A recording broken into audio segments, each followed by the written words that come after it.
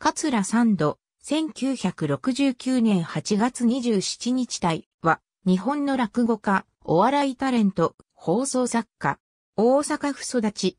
滋賀県高島郡宿川町出身、吉本工業所属、NSC 大阪校10期生。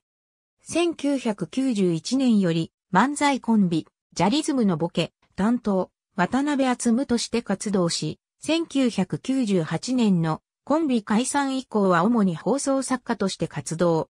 2004年のジャリズム再結成以降漫才師として復帰し、並行して3の倍数と3がつく数字の時だけアホになりますと、するピン芸ネタを中心とした活動を世界の鍋集名義でも言っていた。2011年に再びコンビを解散させ、落語家に転身し、現行座名に改名。情報落語協会会員。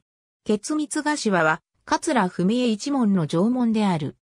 ジャリズム再結成後は、銀色のスーツに、ちょびひげといういでたちで登場するようになり、ネタ中にことあるごとに、世界の鍋圧と自称するようになる。この、世界の鍋圧のキャラクターで2007年後半から、ネタ番組に出演するようになる。なお、落語家転身後は髭を剃っているが、ギャグは封印していない。以下の番組では、出演期間中に名義を世界の鍋圧から桂サンドに変更。以下の番組には名義を桂サンドに変更した後にレギュラーで出演。ありがとうございます。